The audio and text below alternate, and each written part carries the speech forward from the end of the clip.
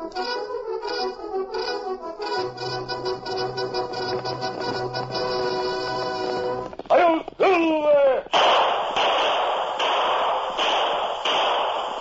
fiery horse with the speed of light, a cloud of dust, and a hearty Hi-Yo Silver! The Lone Ranger!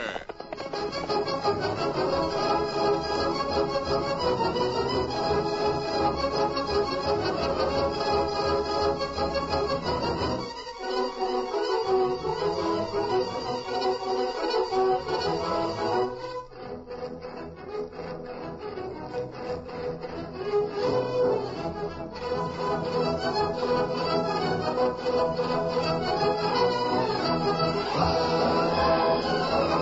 his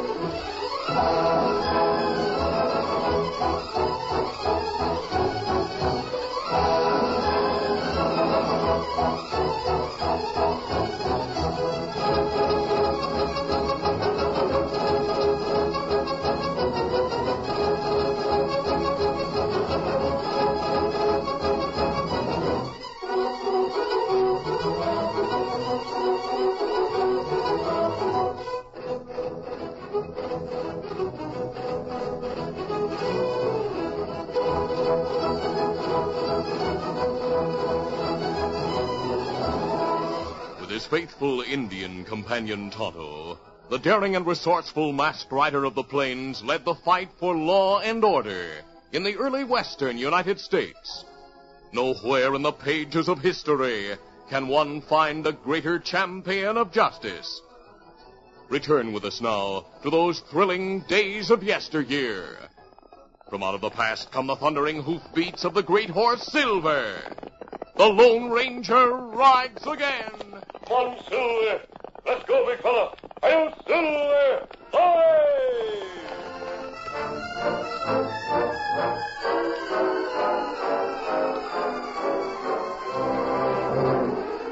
Honest John Nolan, the sheriff of Grindstone, wasn't afraid of a fight.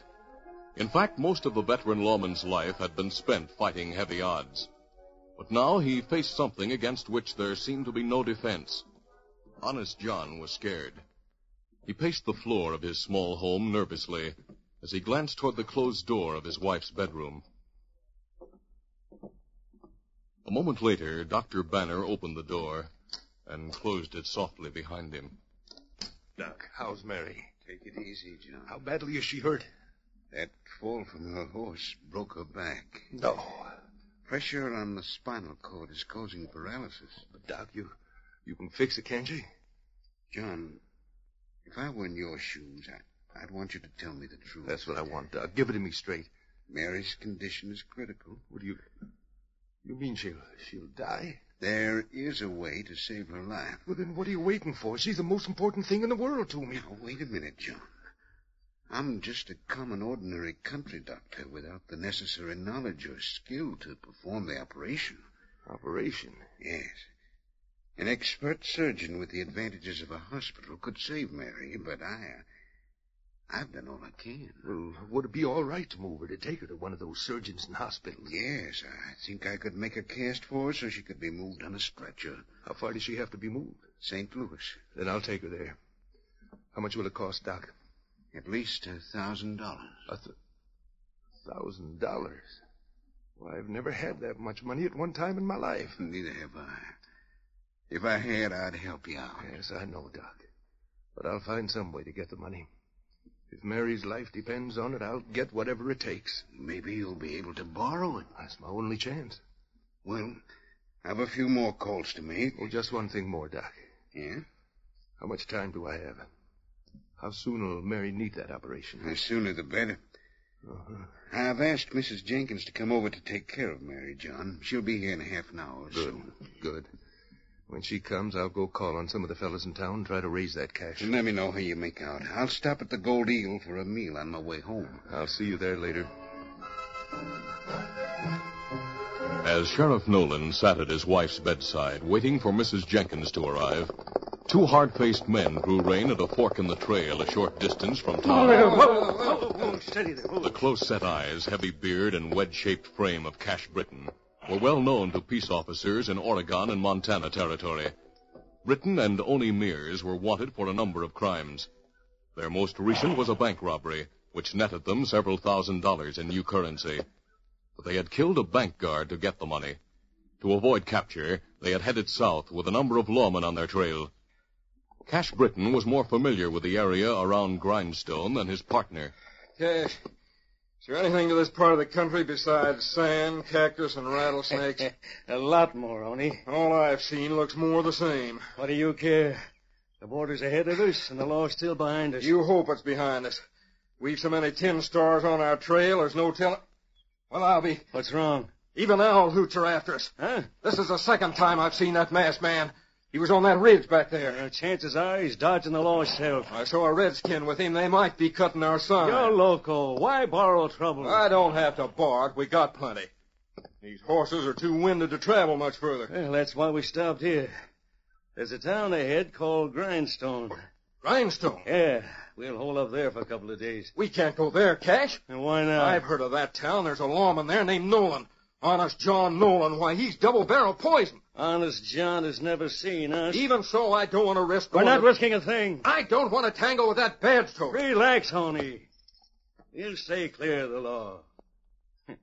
Of course, if you'd rather camp out here with the cactus and rattlesnakes while I go get a couple of good meals, All uh, right, all right, I'm with you. But I don't like it. You'll like it better when you get some hot food under your belt. Come on, get, Get up, up. there, boy. Get up.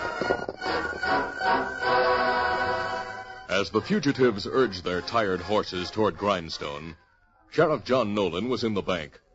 He explained his situation to the banker and was surprised when the older man said, I'm sorry, Sheriff. I sympathize with you, but You mean you'll not lend me the money? banks lend money when there's sufficient collateral. You have no security to offer. Oh. Being honest and keeping this town clean for the last 20 years isn't security. Not security enough for a thousand dollar loan. I see. Thanks, Mr. Bibbs. Thanks a lot. The sheriff strode from the bank to a nearby cafe.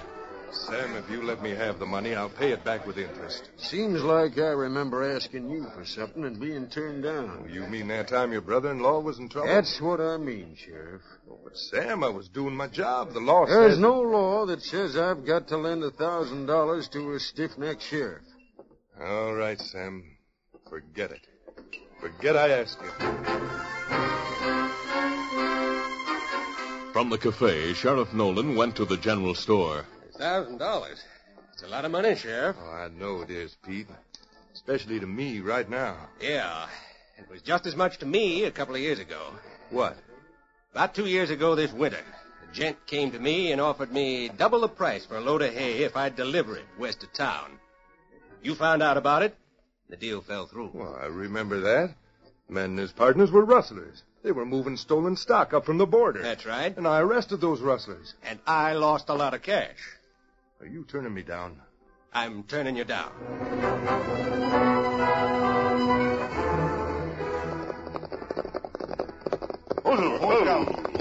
Meanwhile, the Lone Ranger and Tonto had reached the fork in the trail where Cash Britton and Oni Mears had halted.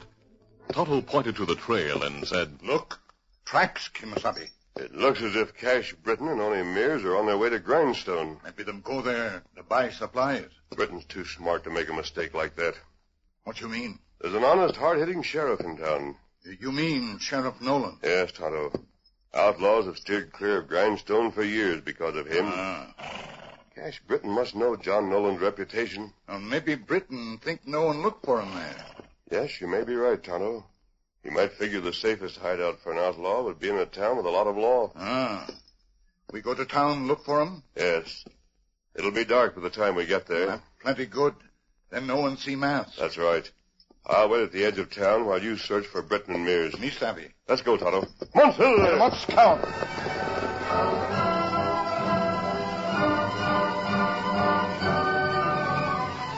Half an hour later, Dr. Banner entered the Gold Eagle Cafe. The waiter finished serving Cash Britton and Oni Mears, then came to the doctor's table. Hello, Bud. Evening, Doc. I have a message for you. Another sick call? No, it's the sheriff. He was in here a few minutes ago. Did he leave? Yeah. Said there was no use waiting for you because he hadn't had any luck. Oh, I'm sorry to hear that. I know it's none of my business, Doc. But what's going on? Why are you and the sheriff wearing such long faces? Somebody sick? Yes, Bert. John's wife is mighty sick. Yeah, I heard she was thrown from a horse. That's right. But there's a far more serious illness in Grindstone. It's a vicious epidemic. Gosh, someone has smallpox or diphtheria? Worse than that. Well, what is it, Doc? Ingratitude, selfishness, cruelty, and man's inhumanity to man. Huh? I don't savvy. Sheriff Nolan's wife needs an operation to save her life. The operation will cost a thousand dollars, but the sheriff is broke. He's broke because for the last twenty years he's really earned the name Honest John. Yes, I, I know he's honest. He's refused to take graft. He's worked hard to make Grindstone a safe place to live. But in spite of that, there isn't a man in town who'll lend him enough to save his wife's life. Gosh, Doc, I've a little cash saved. It's less than a hundred dollars. But if it'll help the sheriff. Yeah. Wouldn't be enough to help, but that's the trouble with the world. Unselfish people don't have much money. And maybe that's the reason they don't have it. Hey, Doc, don't you want a meal? No, Bert. Reckon I've lost my appetite. Good night. Well, I'll be on. Hey, waiter. What'll it be, gents? Uh, who's the fellow who just left here? Doc Banner, why? Well, I, uh, I couldn't help but hear what he said. Sheriff Nolan's wife is sick, huh? Yeah. Like Doc said, Honest John's finding out he hasn't got a friend in town. Oh, that's too bad. A lawman plays his cards straight, and what does he get? Nothing but a raw deal, if you ask me.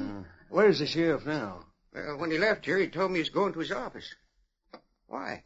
Oh, no special reason. I, I just wanted. Yeah, I, I reckon this'll pay for our meals. yes, sir. It sure will. Well, you keep the change. Come on, on. Cash, you gone loco. Up till we're out of here.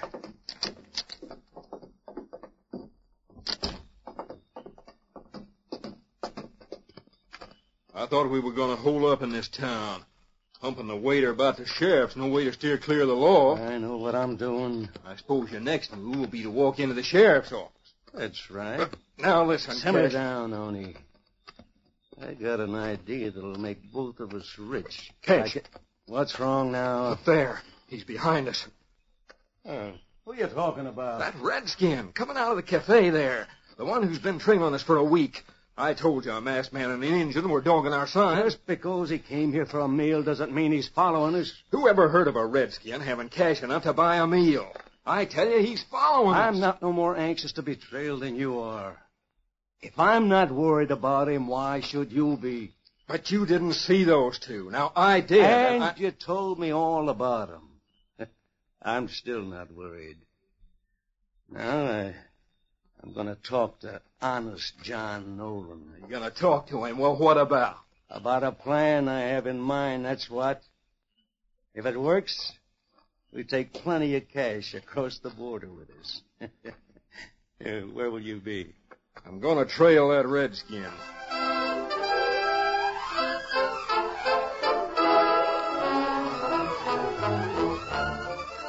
The curtain falls on the first act of our Lone Ranger adventure.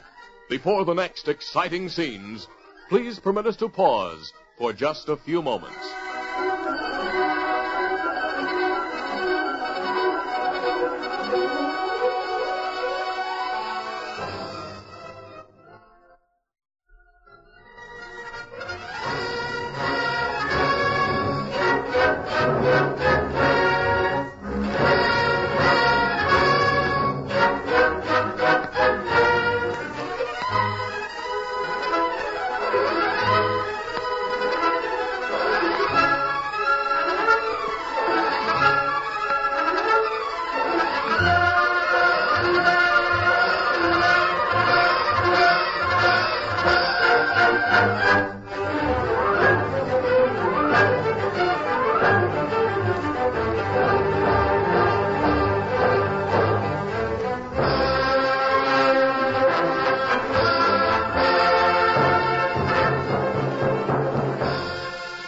To continue.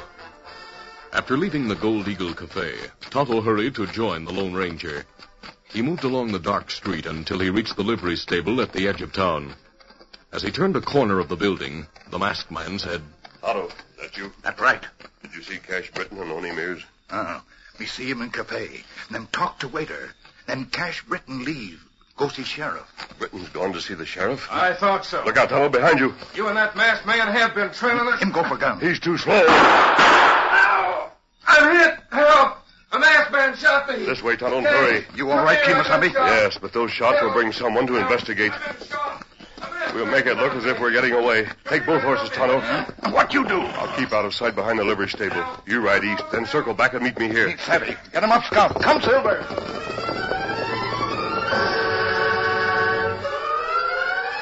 They're getting away! Help! Help! They're getting away! Shut up, Oni. Why'd you start gunplay? I'm hit, Cash. That masked man's bullet brushed my arm. You're not hurt bad if the bullet only brushed you. Listen, Cash, I was right. The masked man and the redskin were following us. They got some... Here, what's the gunplay? Yeah, well, who are you? Sheriff Nolan. Now, which one of you started the shooting? Neither one of us. Two outlaws started, it, Sheriff. One was masked and the other was a redskin. They got away before I could stop them. Who are you? Well, he's my partner, Sheriff. I, uh, I was on my way to see you when I heard the shooting. Why'd you want to see me? Well, I'd like to explain that in private. I have enough to worry about without taking on a private fight. Speak up That's now. or- what I wanted to see you about. What? I'd like to talk to you about your your worries. I, I think I might be able to help you, but I'd rather talk in your office. What happened, Sheriff? What's the gunplay? Oh, you might as well forget it, boys. Just a private fight. Nobody's hurt. My arm's hurt. Wrap in your bandana. I'll meet you later at the Gold Eagle. All right, come on, stranger. We'll have that private talk. I'm with you, Sheriff.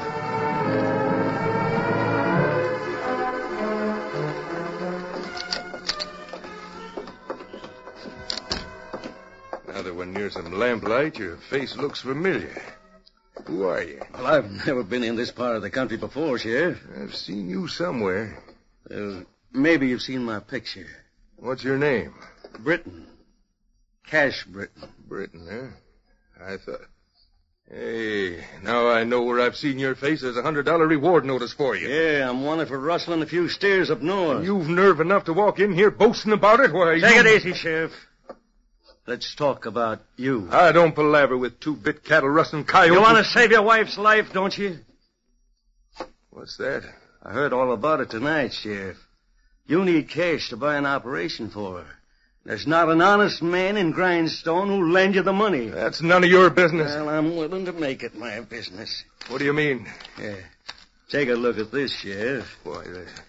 I have a thousand dollars in government bank notes here. Now count 'em if you want to. What's the idea, Britton? My partner and I are tired of rustling, Sheriff. We we'd like to make some real money. Just what do you mean? I mean the bank. You talking bank robbery? Yes. Well, that is, if we could rob it with your permission. Why, you... And I figure a thousand dollars should pay for that permission. You dirty coyote trying to bribe the law. Call it a bribe if you want to, or call it repayment to your friends. The same friends who turned you down when you wanted a loan. Now, uh, how about it, Sheriff? Do you want to go on being honest John, or do you want to help your wife? I... I don't know what to say. Think it over. I'll go to the Gold Eagle to meet my partner, but I'll be back here in a half hour for your answer. See you later, Sheriff. I shouldn't have listened to that crooked sidewinder. I should have arrested him and gone after his partner. But a thousand dollars. My reputation against Mary's life.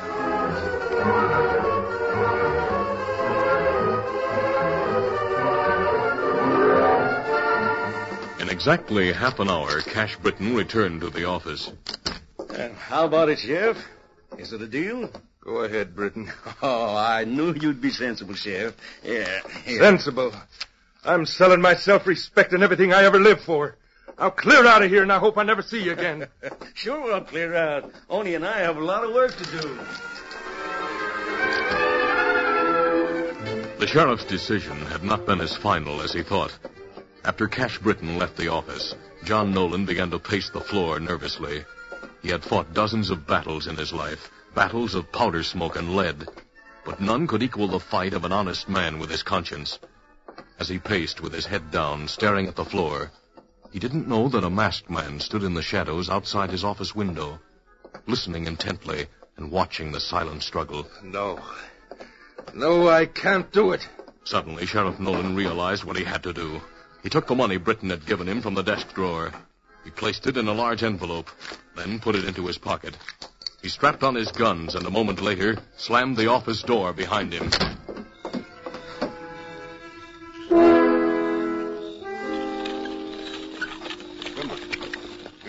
Doc Banner was returning to town after an emergency call at a nearby ranch.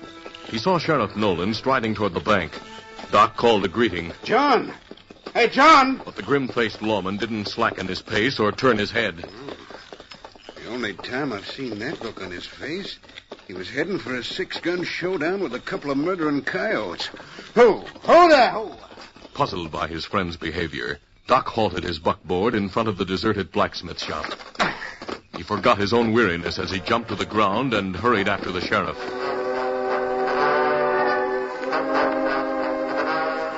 After forcing the lock on the rear door of the bank, Cash and his partner went inside to the vault. By the light of a shaded lantern, Oni Mears worked on the vault door. Come on, hurry, Oni. I'm doing the best I can.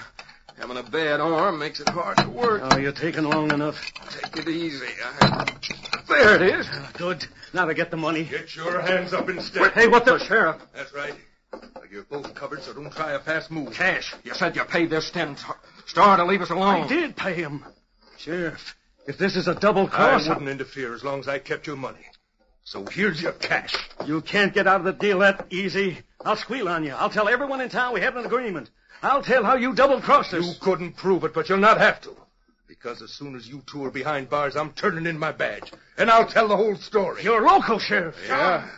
John, what's the trouble? Sheriff Nolan turned as Doc came into the room. Behind the doctor, he saw a masked man and an Indian. Doc, what's the idea of... The sheriff never finished his question. As soon as he turned his head, Cash Britton drew his gun. Standing behind Doc, the Lone Ranger saw the gesture. He pushed Doc to one side and fired.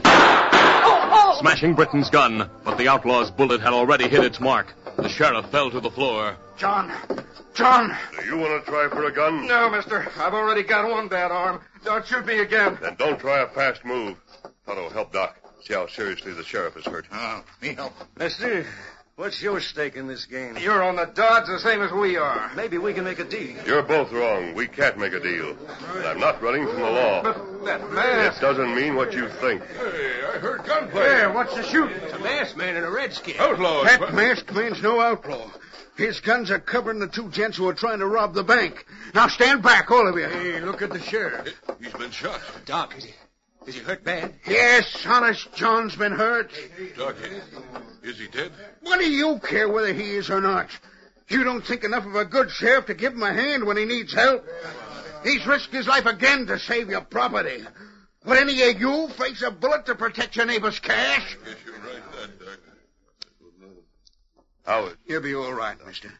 Fortunately, it's a shoulder wound. Him coming to now. Doc. Doc, Take it easy, John. those polecats, did they get away? No. Uh, There's a masked man here holding a gun on both of them. The them. masked man. Well, where's my deputy? Where's Clem? Right here, Sheriff. And I brought handcuffs with me. Put him on those two coyotes over there. Yeah, right, Doc. All right, lower your hands while I put these handcuffs on you. Now listen, my partner and I were double-crossed. Sheriff Nolan was in on this. I paid him off to let us rob the bank. What's that? I made a deal with Nolan. I paid him a thousand dollars. is your money in this envelope, Britton? Yeah, that's it. Examine it, Tonto. Ah, me take a look. I still don't know where you fit in on this deal, mister. But that's the cash I paid Nolan. He agreed to look the other way while we cleaned out the bank. But he double-crossed us. This new paper money, Kemo Sabe. What about the serial numbers? Them same as numbers we have on this. That's all I wanted to know. I'm glad you admitted the money is yours, Cash. What do you mean? It was stolen from a bank in Montana two weeks ago. The serial numbers are on record. Your admission convicts you of that robbery and the murder of the bank guard you shot when you made your getaway. Well, Sheriff Nolan, that's what you wanted, isn't it? What? Yes, it was a good idea to set a trap to capture these two. A trap that forced them to admit the money was there. So you forced their hand, huh, Sheriff? That was smart figuring, Sheriff. Boys, boys, we've been so used to having a first-rate lawman, we haven't appreciated it. Wait, wait, you don't understand. I'm turning in my badge because I... Hold on, Sheriff. You can't turn in your badge. We need you. Doggone right we do. Without you in the sheriff's office, this town's likely to be overrun by crooks. You don't understand. I've got to resign. Oh, no, Sheriff. We'll raise your salary. That's right, Sheriff. I know you tried to borrow cash today, and I, I'm sorry I turned you down. So am I, Sheriff. The bank will be glad to lend whatever you need. And believe me, Honest John's word will be all the security we'll require for the loan. Sheriff, you'll not have to borrow money. What's that? There's a $3,000 reward for the capture of Cash Britton and Oni Mears. Money To be paid when you turn them over to a United States Marshal. Three thousand dollars? I, I thought there was a hundred dollar reward for Britton. Cattle rustlers aren't worth as much as bank robbers and murderers. Are you all set, Deputy? They're both handcuffed and ready for the trip to jail, mister. Then come on, Tonto. Now, hold on. What about that mask? Doc will explain it to you. Adios. Goodbye, mister. Hey, Doc, what about that man? He's all right, Clem. He's no crook. All right, come on, you two. Let's go. Doc, the masked man and I were listening when you told those crooks off, John. You did a great job. You don't know the whole story. I did take a bribe. You didn't keep it. No, but I... Now you'll get the cash for Mary's operation. And this town has finally come to its senses. It appreciates what you've done for it. Now, come over to my office and I'll bandage your wound. Oh, there's a lot I don't savvy. Like what, for example? Like you siding with a masked man. John, anyone would be proud to side that masked man. You see, he's the Lone Ranger.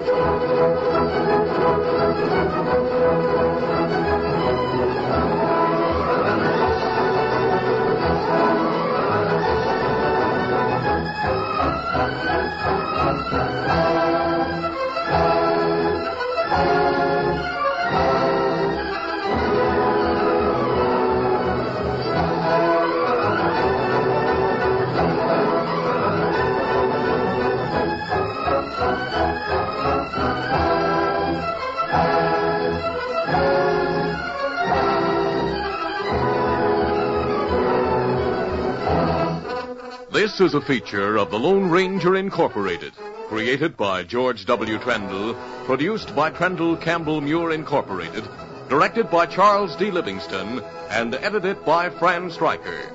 The part of the Lone Ranger is played by Brace Beemer.